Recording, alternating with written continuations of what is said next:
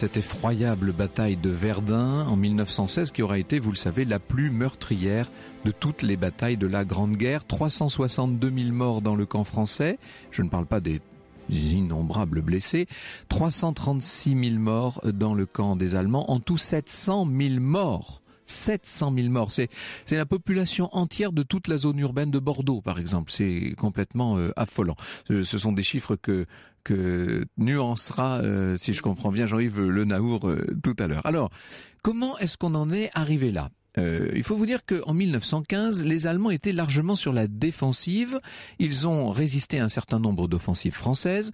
Le généralissime allemand euh, von Falkenhayn euh, s'occupe essentiellement du front Est. Et à la fin de 1915, on décide du côté allemand de faire porter l'effort sur le front Ouest, de créer des abcès de fixation en hommes et en matériel et de hâter la dislocation de, de l'alliance de cette façon. Alors on a le choix, bien entendu, sur l'endroit où l'on peut faire porter cette espèce d'énorme offensive. Ça pourrait être à Belfort, euh, où il s'agirait euh, d'attirer les réserves alliées sur un secteur euh, le plus excentré possible. En l'occurrence, on va choisir Verdun sur la Meuse, Verdun, où se trouve la cinquième armée du Nord. Le Kronprinz tient à Verdun, euh, son père aussi du reste, l'empereur, le, Kaiser. Euh, c'est un secteur plutôt calme que l'on sait relativement mal défendu par les Français. Euh, Verdun, c'est le cœur de la France, disait le, le Kronprinz. Et c'est vrai que les Allemands, par le saillant de Saint, Saint-Mihiel, hein, au sud-est du dispositif, ont comme un coin déjà enfoncé dans le front, dans le front. Donc, les Allemands choisissent Verdun et ils vont déployer sur place euh, vraiment un, un feu roulant extraordinaire, une préparation d'artillerie au enroulement de tambour, euh, si l'on veut essayer de traduire la, la formule Trommelfeuer. Euh, cette artillerie lourde allemande va faire des dégâts considérables. elle est très, elle est très importante. Vous savez qu'en 14, elle a montré sa supériorité en écrasant un certain nombre de forts à Liège, Namur, Anvers, Maubeuge, etc. Euh, juste une parenthèse d'ailleurs pour vous dire qu'en août précédent, en août 1915, on a désarmé les forts. Ça, c'est une, c'est une directive sur laquelle nous reviendrons tout à l'heure, mais qui a sans doute eu des, conséquences du côté français, je veux dire. Hein. Donc la stratégie allemande, c'est d'enfoncer le front euh, pour reprendre en quelque sorte l'avantage dans, dans le conflit, c'est de, de créer de véritables saignées. Hein. C'est, on veut des combats meurtriers. C'est-à-dire que, contrairement à un certain nombre de batailles dont on pourrait dire que euh, leur caractère plus ou moins meurtrier est un effet euh, involontaire des combats, là en l'occurrence, on cherche à faire couler le, le sang. L'offensive est sur la rive droite de la Meuse. il y a sur la rive gauche des troupes en réserve en cas de riposte de grande ampleur. C'est peut-être ça la chance des Alliés. Encore une fois, cette histoire là aussi de, de choix euh, de, de, choix stratégiques essentiels, euh, nous y reviendrons tout à l'heure. Alors du côté français, on a fait montre, il faut le dire, dans ce secteur d'une relative négligence, euh, malgré les terribles combats, des combats au corps à corps hein, sur la crête des Éparges au sud-est de Verdun. Certains ont mis l'accent sur les, les insuffisances du front à cet endroit. On n'a qu'une ligne, par exemple, alors que sur la plupart des, points du front, on a quand même trois lignes. Euh, enfin deux voire trois lignes. Euh, un parlementaire euh, dont on aura l'occasion de parler tout à l'heure, le lieutenant-colonel Drian, j'ai déjà consacré au moins deux émissions, je crois, à Drian ici, qui était membre de la commission de défense nationale euh, et qui commandait des, chasseurs à pied dans le secteur du bois des Corps. Drian a obtenu une visite sur place de Gallieni en personne, Gallieni ministre de la guerre. On est là juste avant l'offensive, hein, en décembre 1915. En face, les Allemands sont en train de de, comment dirais-je, d'affûter leurs armes. Euh, ils ont des renseignements très très importants. Nous en avons aussi, grâce au deuxième bureau, bien entendu, euh, grâce à des transfuges. Je pense notamment à des déserteurs alsaciens qui renseignent l'état-major euh, français. Pour autant, l'état-major français réagit relativement peu et relativement mal, disons-le nous avons été surpris par cette offensive du 21 février 1916. À 5 heures du matin, euh, on est en février et c'est un février très froid. Hein. Il y a de la neige, euh, il y a un blizzard épouvantable. À 5 heures du matin, dans ce paysage de neige, c'est le déluge de fer et de feu. 1225 pièces d'artillerie qui vont du petit canon de 150 euh, aux espèces de, de pachydermes de 420 contre les forts, bien entendu. Il faut savoir que Verdun est entouré d'une constellation de positions euh, fortifiées. Le commandant du le commandant du secteur, le général R, a pris des mesures évidemment pour essayer de contrer, mais ce sont des mesures qui sont disproportionnées par rapport à l'énormité de l'offensive. Parce qu'il faut quand même que je vous dise que euh, on a décidé du côté allemand, et ça c'est la volonté de Falkenhayn, de tout concentrer sur un sur une largeur de 8 km seulement. C'est-à-dire que ce n'est pas une offensive de très vaste ampleur, c'est une offensive puissantissime, mais euh, c'est un véritable coin que l'on veut enfoncer encore une fois. Hein. Euh, il y a toutes sortes de petits bois dans la région, euh, Aumont, Herbebois, les Cours dont je vous parlais. Tout ça va être rasé, nivelé, troué de partout, avec des cratères, des trous d'eau, un paysage de fin du monde qu'on a beaucoup vu et qui peu à peu va se mettre à symboliser à lui tout seul l'ensemble de la Grande Guerre. Devant le rouleau compresseur allemand, étroit donc mais irrésistible, les positions françaises tombent, et pour autant, et c'est la seule nouvelle positive en quelque sorte du côté des Français, l'avance allemande est relativement lente. Les dégâts causés euh, aux Allemands par leur propre artillerie ralentissent la progression. Ça, c'est très intéressant. Euh, en fait, on a l'impression que l'artillerie allemande n'est pas bien réglée dans cette affaire. Je vous parlais de Drian euh, tout à l'heure. Il est l'exemple même euh, de l'officier subalterne qui, à la tête de son détachement, va tout faire pour freiner cette avancée allemande. Eh bien, Drian, le 22 février, dès le lendemain de l'offensive, va prendre une balle en plein front à l'état-major, le général de Castelnau, qui est ce qu'on peut dire le bras droit de Joffre, je poserai tout à l'heure euh, la question à nos spécialistes. Castelnau prend la mesure du désastre, il se rend sur place malgré la neige euh, dans la nuit du 24 au 25 et simultanément on va nommer un chef d'état-major pour coordonner la défense du secteur de Verdun, c'est le général Pétain. Cependant, la situation est devenue plus qu'alarmante du côté français. Euh, la journée terrible du 25 février 1916 va voir se succéder les mauvaises nouvelles et au premier rang de ces mauvaises nouvelles, celles qui viennent du fort de Douaumont.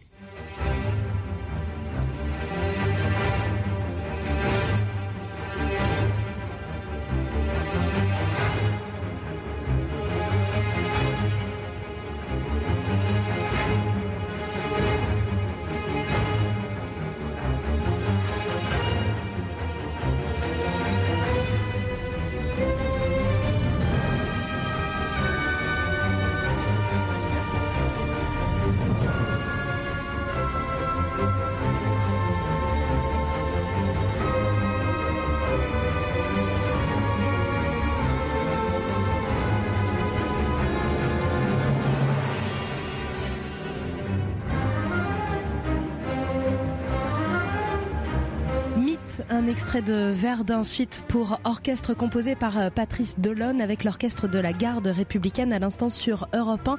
Il y a presque 100 ans, jour pour jour, débuté, Franck Ferrand, cette terrible bataille de Verdun que vous avez décidé de nous faire revivre cet après-midi sur Europe 1. Euh, c'est, euh, nous sommes le 25 là maintenant, 25 février, aux alentours de 15 heures. Louvemont, après tant d'autres points, est tombé et à partir de là, tout s'enchaîne très vite.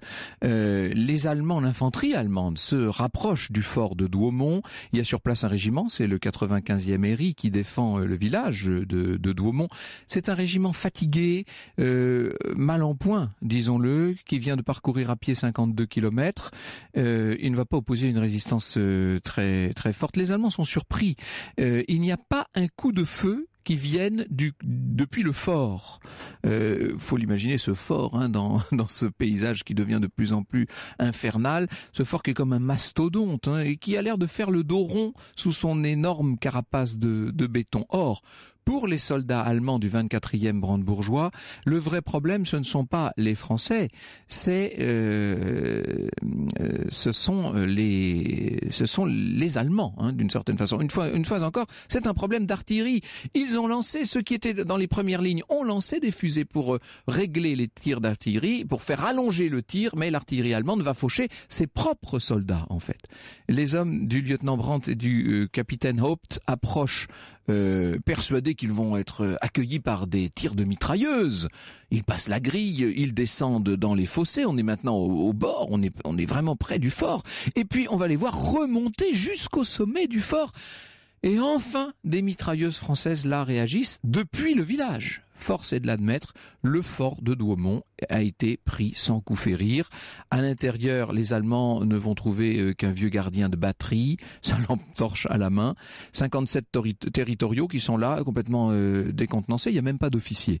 Voilà le résultat donc de, ce décret qui avait été pris, je vous le dis, euh, en, août 1915, hein, le 5 août 1915, et qui visait à désarmer les, forteresses. Voilà ce que voilà ce que nous dit, euh, je crois que c'est Guy Blon qui nous dit ça. Georges Blon, voilà, c'est ça.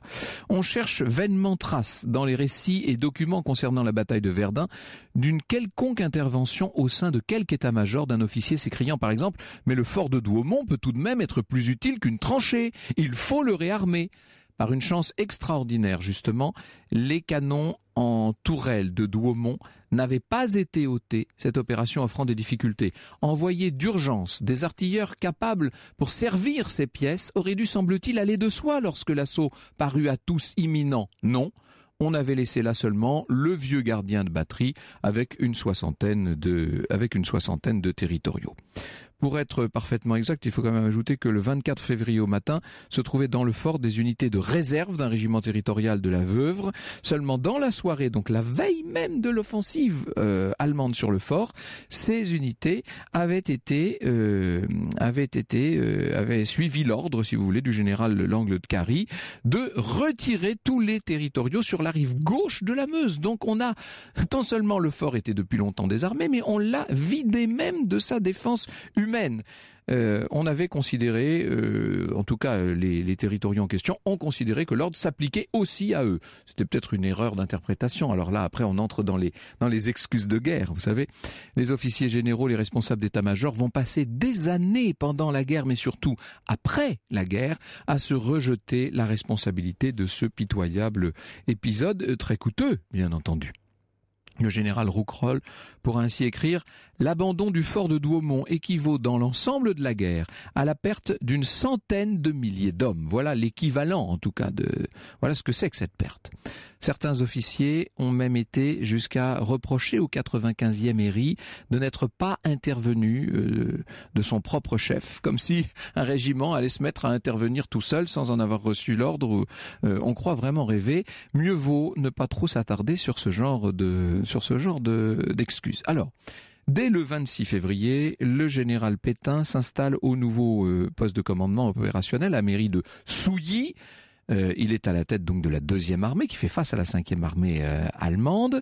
Euh, la prise de Douaumont a été un désastre, doublé d'un scandale certes, mais il ne faudrait pas que cet arbre cache la forêt, parce que la réalité, c'est que dès à présent, la bataille de Verdun se révèle difficile, voire même négative pour les Allemands, qui n'ont pas du tout manifesté la supériorité qu'ils en attendaient.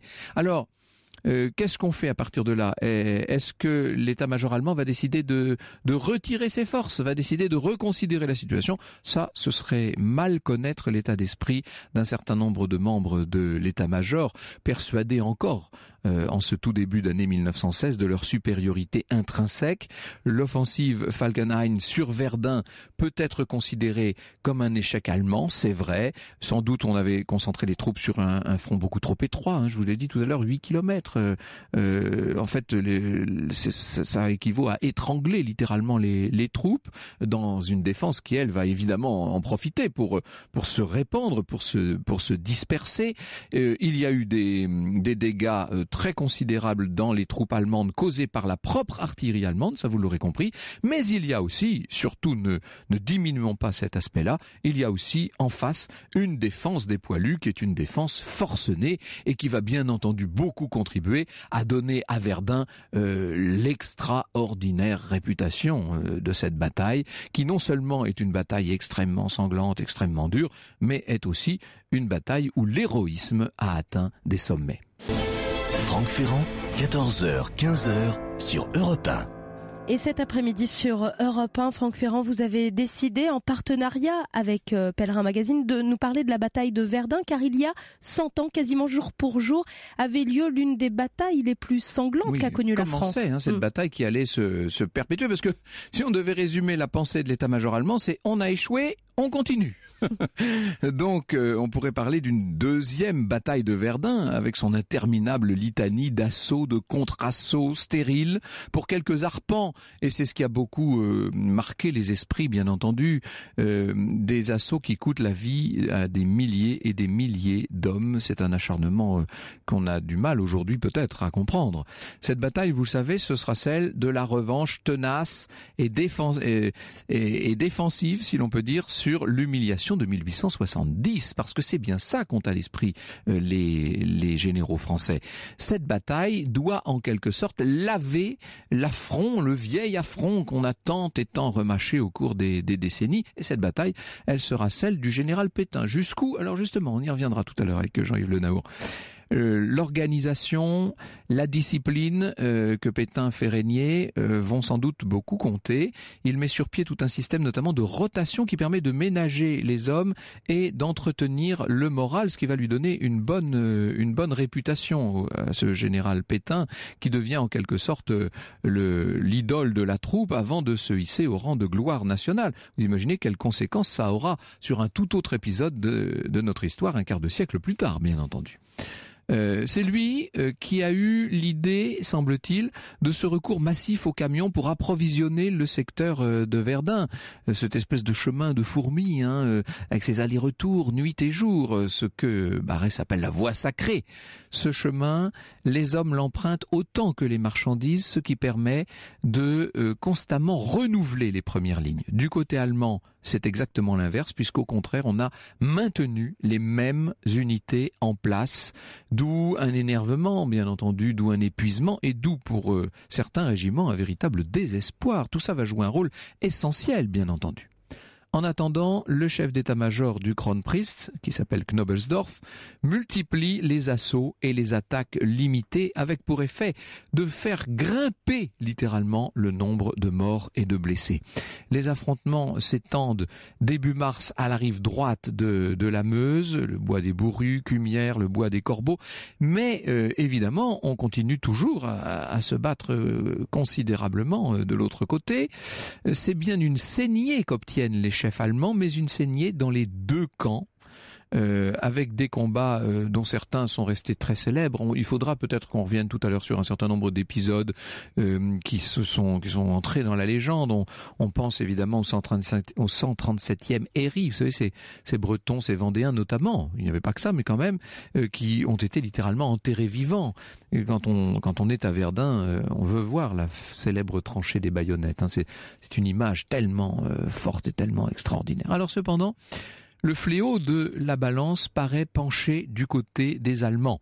Mangin et ses coloniaux se sont finalement euh, repoussés lorsqu'ils tentent de reprendre euh, le fort d'Ouaumont. Euh, les Allemands, eux, prennent le fort de Vaux, au sud-est de Douaumont, et au mois de mai, Pétain est écarté par Joffre, euh, pour des raisons peut-être de susceptibilité, on viendra tout à l'heure à ces questions très personnelles, il est remplacé par Nivelle. Euh, du côté allemand, à la tête de la deuxième armée, bien entendu, du côté allemand, euh, c'est la stratégie ou la tactique, devrais-je dire, des couloirs de feu qui se révèlent pas très probantes en vérité.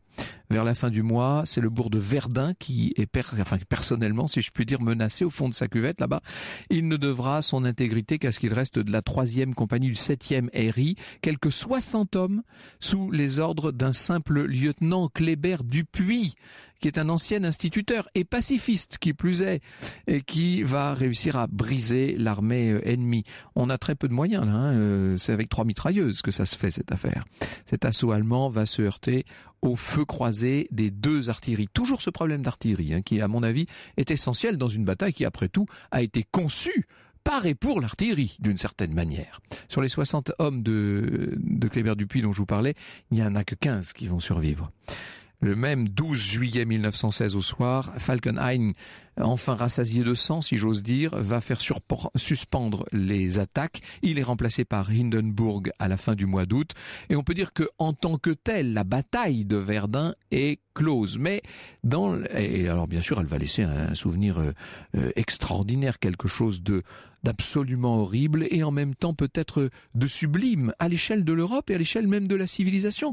Euh, j'espère qu'on aura suffisamment de temps tout à l'heure pour évoquer cet aspect culturel de la bataille de, de, Verdun. Alors, l'heure est du côté français à la reconquête du terrain perdu. Or, parmi les places fortes à reprendre figure bien sûr au premier rang le fort de Douaumont en octobre 1916. Il y a des pluies terribles en octobre hein, qui datent, qui ont commencé à la fin du mois de septembre.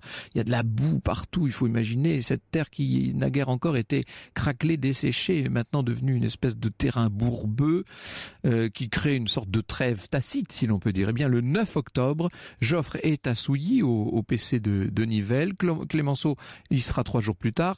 Et euh, Nivelle explique ce qu'il va faire. Il a huit divisions à opposer aux sept divisions allemandes. Trois attaqueront en première ligne, trois en deuxième, deux seront réservés à, à l'arrière. Et un peu à la manière des Allemands, si je puis dire, réponse du berger à la bergère, on fait une préparation d'artillerie exceptionnelle. Le 21 octobre, 650 canons français se mettent en branle en même temps. Il y en a 800 hein, de l'autre côté. Euh, mais la précision de tir des Français est très supérieure. Euh, on lance... Euh, c'est une, une bataille. Enfin, c'est encore une, offensive incroyable. L'action sur place va être menée euh, par le fameux général Mangin, hein, avec ses, ses moustaches. je ne sais pas si vous l'imaginez, si vous le voyez, petit personnage assez étonnant. Euh, le 24 octobre, donc, à 11h40, euh, les, euh, les Allemands sont attaqués dans ce qui est le symbole, en quelque sorte, dans ce, ce fort d'Ouaumont. On avait commencé à partir du 23 des, des un véritable pilonnage, hein, des bombardements absolument extraordinaires. Le premier choc effrayant se produisit à midi et demi, nous dit Georges Blond, pendant une durée qui parut à tous interminable, mais qui en fait n'excéda pas une seconde et demie. Des officiers le notèrent, donc une seconde et demie. Le grondement de l'artillerie fut couvert par un bruit différent, une sorte de hurlement enroué qui semblait descendre des hauteurs du ciel. Il y eut aussitôt ensuite comme un petit éclatement assez surprenant par sa modération, puis un bruit sourd, puis une fraction de seconde plus tard, un tonnerre assourdissant avec un déplacement d'air. Les hommes immobiles dans les casemates et dans les couloirs, donc de ce fort, avaient l'impression qu'un énorme aérolite, un morceau de planète venait de pénétrer et d'exploser à l'intérieur du fort. Il s'agissait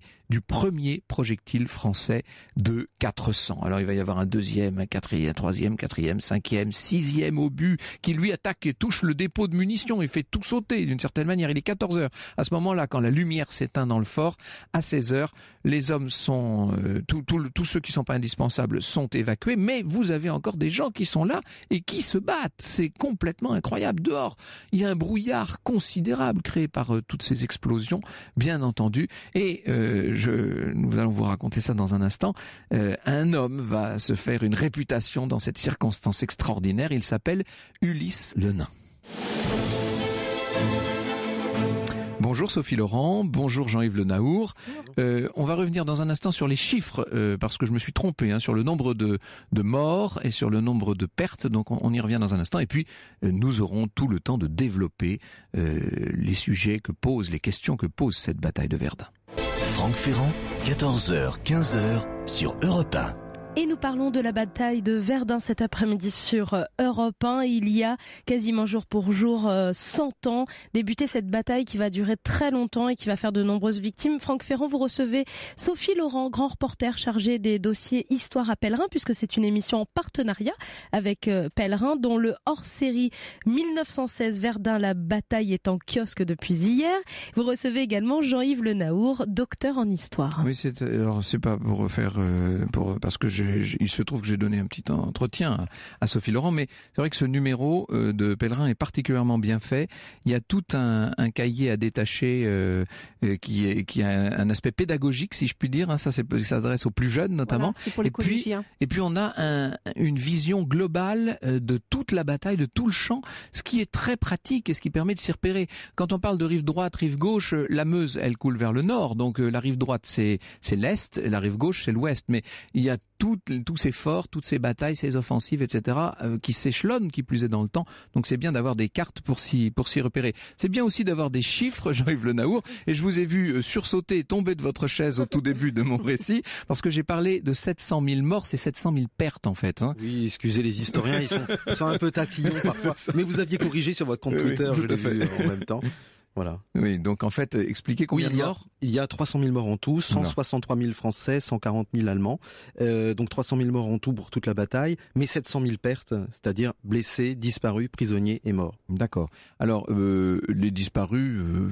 Souvent, ils vont être comptés parmi les morts. Mais pendant la guerre, il y a toujours cette présomption qu'ils sont prisonniers. Oui, qui peuvent, oui. Voilà. Donc ensuite, un an après la guerre, euh, le, euh, ils seront transcrits en, euh, de disparus en mort, voilà, en décès, pour qu'il puisse y avoir des héritages, que les veuves puissent se remarier, etc. Je parlais, on peut peut-être régler la question tout de suite, comme ça, ça évitera qu'on la reporte à la fin de l'émission et qu'on finisse par l'oublier. Euh, D'un point de vue culturel, en quelque sorte, Verdun, c'est la bataille absolue, d'une certaine manière. Hein. Quand on dit Verdun, aujourd'hui encore, à peu près tout le monde, et toute génération confondue, c'est rare qu'on puisse dire ça aujourd'hui, mais là, quand même, les gens savent à quoi on fait référence, c'est-à-dire l'enfer de la bataille, hein. ces roulements d'artillerie extraordinaires. Oui, et cela vaut pour les Français, évidemment. Pour les Anglais, en revanche, c'est la Somme. Et oui, ah, c'est vrai, bien sûr. Qui est vraiment la, qui a été plus meurtrière. Plus meurtrière, mais mm. moins pour les Français. Donc mm. effectivement, pour les Français, Verdun, euh, c'est l'horreur. Et effectivement, il y a une logique même derrière la bataille de Verdun, qui est une euh, logique nouvelle, qui est celle de la bataille de matériel. Hein, vous l'avez bien dit, les Allemands ont amassé euh, les canons et ont voulu marcher sur des cadavres. C'est-à-dire ont voulu annihiler absolument toutes les résistances françaises. Et ça, cette volonté d'anéantissement était complètement nouvelle. On était rentré dans une nouvelle forme de guerre. Oui, c'est une guerre qu'on aurait aimé ne jamais connaître, mais enfin bon, on était dans une sorte de guerre totale et jusqu'au bout d'une certaine manière, et qui ne tient pas compte des résultats sur le terrain. Euh, c'est pas pour défendre le XVIIIe siècle, mais autrefois quand on avait perdu une bataille, on l'avait perdu. Là, on l'a perdu, mais tant pis, on recommence le lendemain matin. Quoi. C'est ça Et vous savez pourquoi? Vous l'avez un petit peu dit, mais c'est que Falkenhayn y s'entête parce que il est menacé dans son poste. Vous avez dit qu'il y a Hindenburg qui est en train de, ben qui, là, bien sûr, qui, le conteste, qui disent mais il faut d'abord attaquer. Ça commence à être la discorde au sein de l'état-major allemand. Oui, hein. exactement. Et donc, il lui faut une victoire. Et c'est pour ça qu'il s'entête, s'entête. Puis bon, à un moment donné, il sera remplacé. Est-ce qu'à Verdun aujourd'hui, Sophie Laurent, euh, on est conscient d'être dépositaire d'une mémoire très particulière? Ah oui, je crois. Même si la ville a envie qu'on ne parle pas que de la bataille et que de, de, de, toutes les, les, oui, parce Que c'est une ville qui a une très très riche histoire par ailleurs. Absolument. Et alors, contrairement à ce qu'on pourrait croire, cette ville n'a pas été détruite par la bataille de Verdun. Moi, ça m'était Ma grande surprise, la première fois que j'y suis allée en reportage, c'est que il existe un, vieux Verdun, la cathédrale est très belle, il y a un archevêché du XVIIIe siècle splendide qui est devenu un centre mondial de la paix d'ailleurs, tout un programme qui montre que Verdun veut passer à une autre étape. Et puis euh, il y a euh, des jolis bords de Meuse euh, où on peut flâner, surtout l'été d'ailleurs, parce que l'hiver c'est un petit peu plus rude. Mais contrairement à ce qu'on pourrait imaginer, vu l'aplatissement du, plateau, si j'ose dire, où a eu lieu le champ de bataille, qui a, qui a servi de champ de bataille, la ville elle-même a été finalement assez peu détruite, enfin moins que la propagande française l'a laissé entendre pour nourrir le mythe euh, d'une ville martyre, en fait. Bien sûr, bien sûr. Euh, c'est tout le secteur dont il faudrait parler, bien entendu. C'est ce que vous faites d'ailleurs dans, ce, mm. dans ce numéro spécial.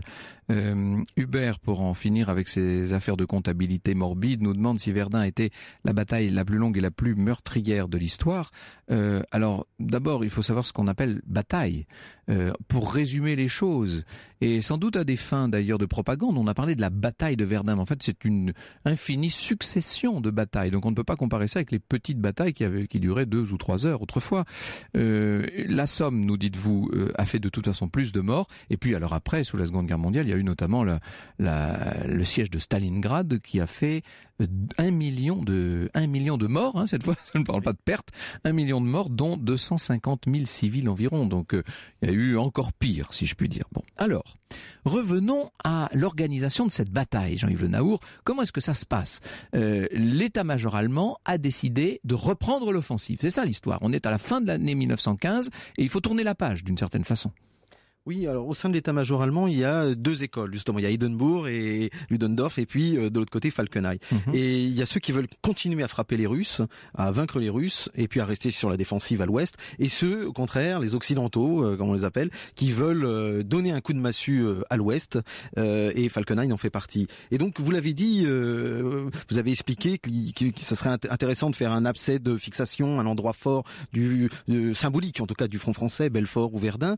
Euh, et effectivement, on s'aperçoit que finalement l'intérêt, il est peut-être plus politique, moral, symbolique pour les Allemands que militaire. Puisqu'après tout, prendre Belfort ou comme on a décidé finalement prendre Verdun, eh ben, ce n'est pas mettre fin à la guerre. C'est simplement euh, créer un choc euh, chez les Français. Parce que si les Français, ils croient à l'époque, ils ne savent pas qu'on a désarmé l'effort, comme vous l'avez rappelé. Eh bien, si les Français croient que Verdun, c'est la position la plus fortifiée et la plus forte de leur front, ils seront abattus d'apprendre qu'en trois jours, cette position est tombée. Et voilà. Donc il y a des symboles, on veut faire tomber des symboles. Sauf que ça marche pas aussi bien qu'on aurait pensé. C'est ça euh, qui va surprendre les Allemands eux-mêmes. Et oui, un million et demi d'obus en une seule journée, c'est absolument fou. Et euh, quand on le dit comme ça, ça paraît, mais euh, c'est un déluge sans aucun précédent là pour le coup. C'est transformer le monde en, en enfer absolu. Hein. Il n'y a de million et demi d'obus. Il n'y a plus que des trous d'obus. Euh, et vous avez parlé de, de, de, Drian, du bois des corps qui est à l'extrémité, euh, mais euh, vous avez, ça matraque tellement, si vous voulez, que il y a des soldats qui finissent par s'endormir parce que c'est la, la, dernière parade du cerveau pour pas devenir fou. Il y a un bruit, c'est un bruit, c'est un enfer. Euh, on voit dans le bois des corps les, les, vous avez parlé de ce barrage roulant qui arrive sur les soldats, les, les, les, les comment les, les, les, les arbres volent Hein, euh, devant, euh, devant les soldats et ils voient arriver ce barrage roulant sur eux. Ils étaient 1300 à 7 heures du matin, à 16 heures ils ne sont plus que 400. Et le lendemain ils sont 110. Oh mon Dieu.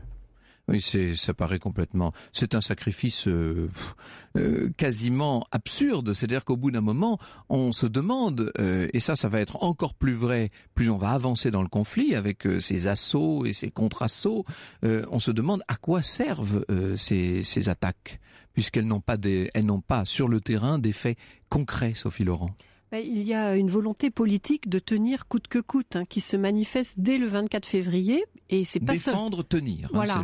Et c'est pas seulement euh, Joffre, c'est aussi Aristide euh, Briand, euh, président du Conseil, qui, voyant aussi le malaise de la population essentiellement parisienne, hein, qui se rappelle la bataille de la Marne, qui a peur d'une percée des Allemands à cet endroit-là. Et donc, euh, les ordres sont tout de suite donnés de tenir coûte que coûte la rive euh, droite donc de la de la Meuse. Et euh, ce qui est un peu absurde parce que il y avait un autre plan militaire qui pouvait très bien tenir en se repliant de l'autre côté.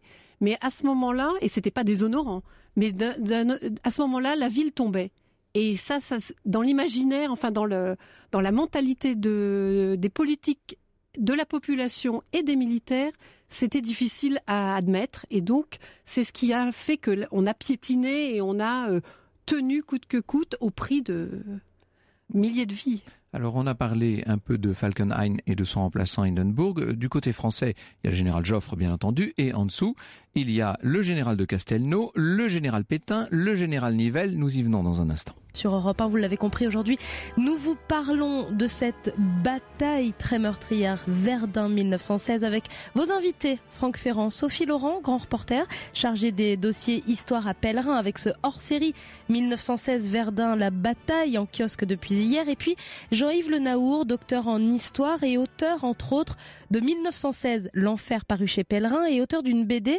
Verdun avant l'orage avec les dessinateurs Marco et Olgado paru chez Bambou Édition vous savez que lundi, là, le 22 février, on va rouvrir le mémorial qui avait été fermé pour des travaux de modernisation, d'agrandissement, etc. Et la meilleure chose qu'on puisse faire, c'est évidemment de se rendre à Verdun.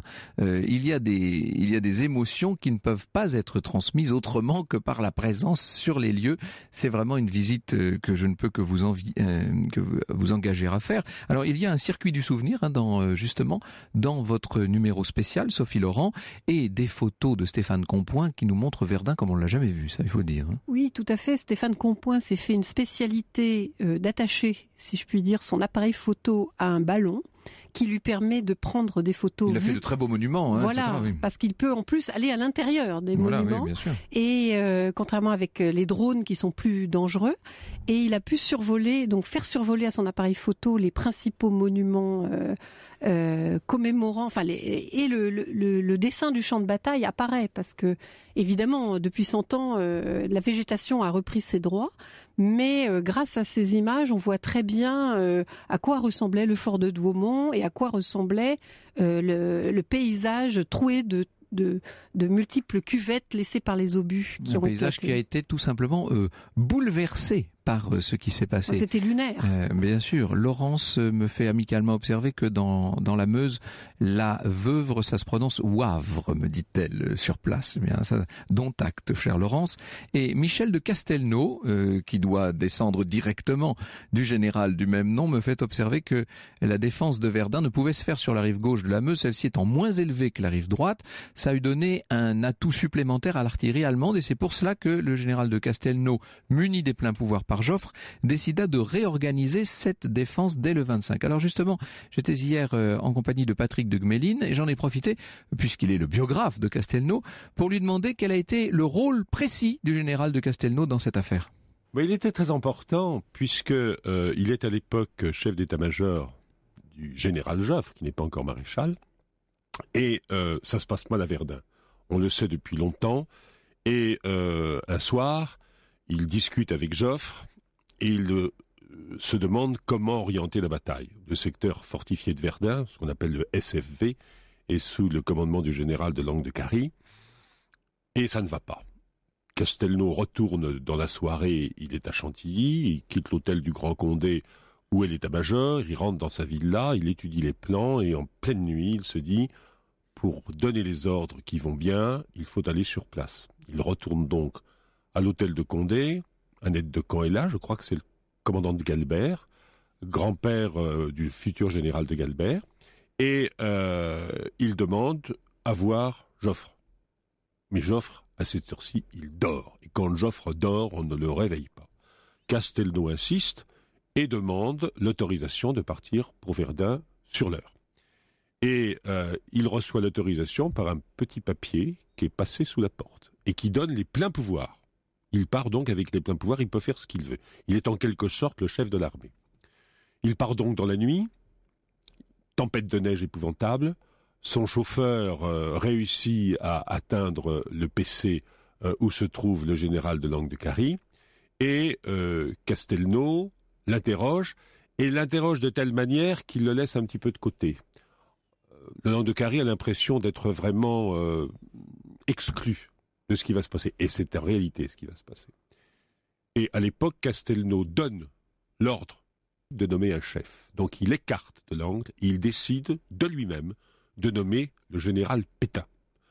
Pétain qu'il n'apprécie pas particulièrement, et ça durera d'ailleurs bien au-delà. Et il envoie chercher Pétain. Pétain euh, est en train de compter fleurette à une dame et l'officier euh, qui en pleine nuit, parce que tout ça se passe en quelques heures, arrive dans l'hôtel où le général Pétain est descendu, voit une paire de bottes et une paire de bottines devant la porte, il va faire ouvrir euh, la porte en frappant, et Pétain dit bon je viendrai demain matin. Non, non, non, non, le général de Castelnau veut que vous veniez immédiatement. Et Pétain remet ses bottes, part à l'état-major, rencontre Castelnau, qui, sur un manifold, lui donne l'ordre de prendre le commandement du secteur fortifié de Verdun. Et c'est donc lui. C'est ce qui s'appelle rendre à César, ça. Hein Exactement. Donc l'ordre de nommer Pétain. De nommer Pétain, c'est Castelnau, tout à fait régulièrement, puisqu'il est muni des pleins pouvoirs par le général Joffre. Et ça, c'est une chose qu'on dit peu ou mal, et je pense qu'il faut le rétablir. Et quelqu'un a dit il n'y a pas longtemps, s'il n'y avait pas eu Castelnau, il n'y aurait pas eu Pétain et sans doute toute la suite. C'est assez, euh, c'est assez étonnant cette version, puisqu'on on, a l'habitude de lire que c'est Joffre qui nomme Pétain. En fait, c'est avec les pleins pouvoirs Castelnau qu'il nomme euh, Jean-Yves Le Naour en fait, ce que fait Castelnau, d'essentiel, quand il arrive à Verdun, c'est qu'il ordonne de se défendre sur la rive droite. Vous l'avez rappelé tout à l'heure, Douaumont, finalement, avait été évacué et les troupes étaient en train de reculer. Pourquoi? Parce que l'angle de Carrie, qui commandait le, front du centre, parce que le général R, qui commandait la région de Verdun, considérait que c'était foutu, que la rive droite de la Meuse était foutue, et donc on n'avait plus qu'à se reporter derrière la Meuse et à, et à arrêter les Allemands derrière la Meuse. Mais Castelnau, il arrive, il y avait les renforts qui étaient déjà là et on les laissait pas passer sur la rive droite parce qu'on disait mais si on les laisse passer le 20e corps, les Allemands vont bombarder les ponts et vont se retrouver prisonniers, avec leurs canons, etc. De côté, Et Castelnau lui il prend la responsabilité de faire passer le 20e corps. Donc c'est ça véritablement ce, ce, cette décision du 25 février. Pétain lui par Pétain euh, par par Joffre, il a reçu la mission de défendre le secteur sur la rive gauche et c'est Castelnau qui sur un coin de table avant minuit lui dit non, vous allez prendre tout le secteur y compris la rive droite. C'est-à-dire que c'est Castelnau a décidé qu'on se battrait. Castelnau a donc montré les dents ce, jour-là. Il, demande à Pétain d'agir tous azimuts. quel va être le rôle essentiel de, Pétain dans, cette histoire?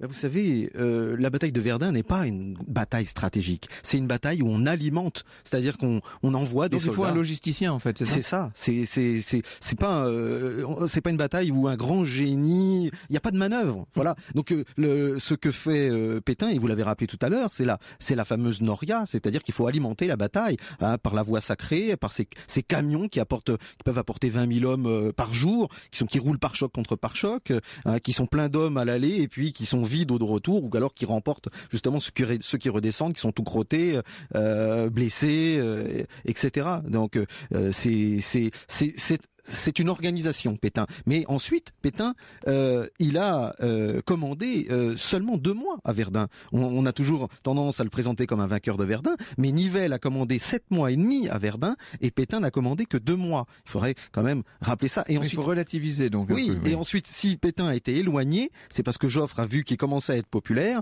et donc il l'a un petit peu promu pour l'éloigner et il a donné le commandement à Nivelle.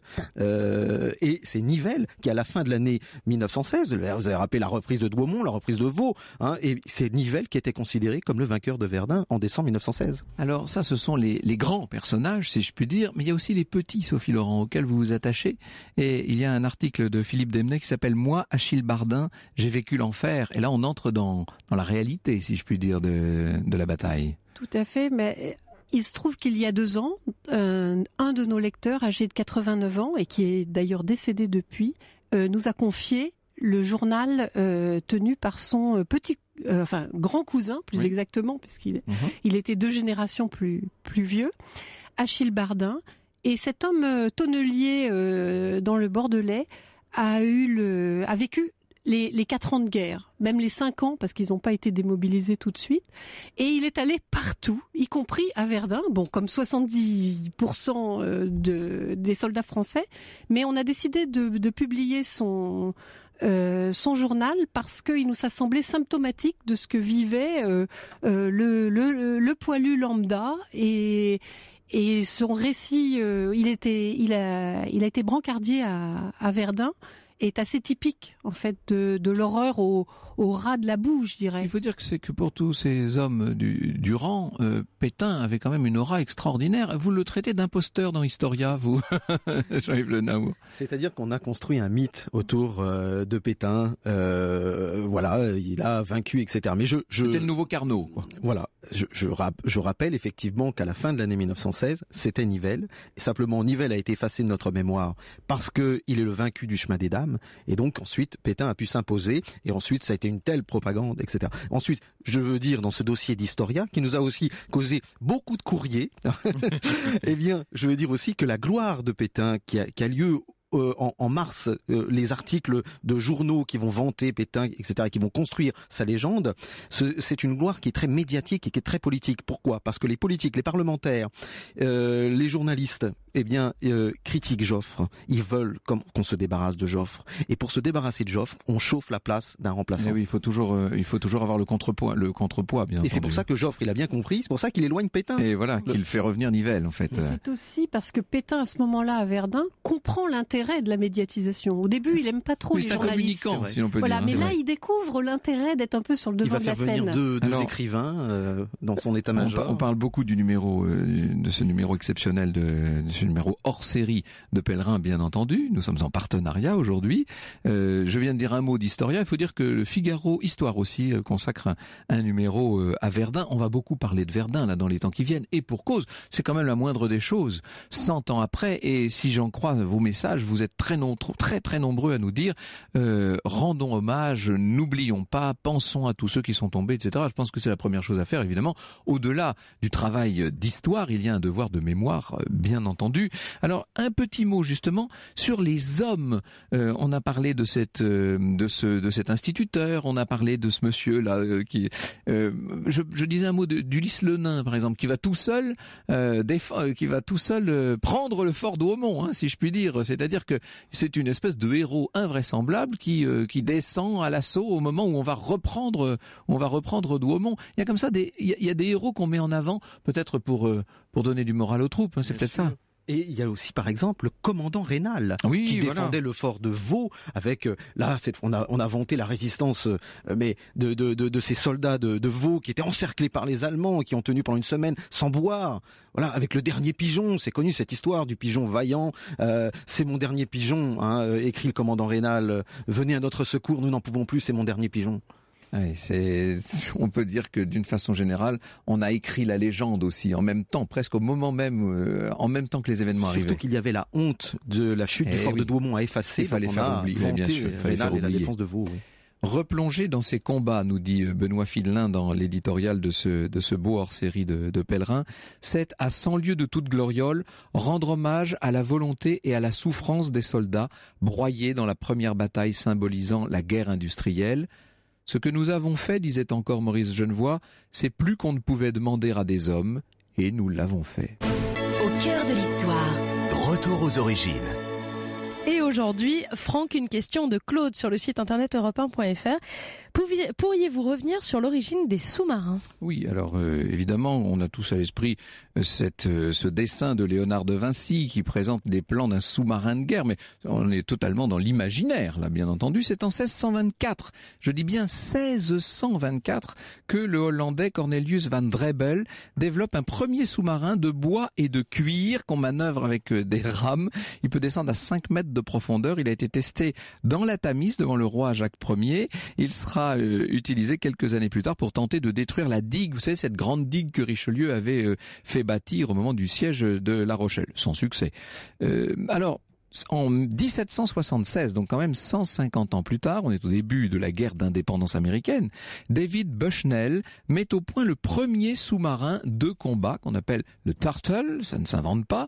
Euh, c'est ensuite encore un siècle plus tard qu'on va avoir les premiers sous-marins effectifs. On en parle beaucoup euh, en 1870 dans 20 milieux sous les mers, évidemment, de, Jules Verne.